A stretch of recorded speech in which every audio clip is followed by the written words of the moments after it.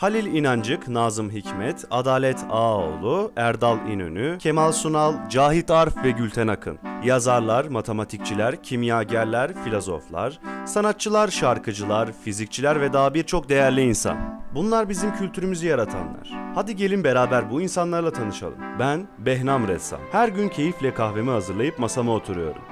Bu kıymetli insanların geçmişlerini araştırıp kendi tarzımda resimlerini çiziyorum. Umarım beğenirsiniz ve bu koleksiyonu yaratmakta bana yardımcı olursunuz. Kimlerin resimlerini çizmemi istersiniz? Koleksiyonda yer almasını istediğiniz biri varsa mutlaka belirtin. Bu değerli insanların bizlere bıraktığı mirasın kıymetini bilmemiz gerekmiyor mu?